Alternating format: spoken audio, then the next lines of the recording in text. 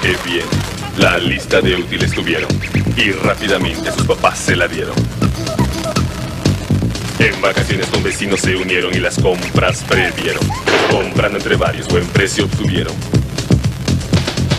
Y al entrar a clases el gasto no fue de un trancazo. La moraleja es, en el regreso a clases, unidos y planear para poder ahorrar.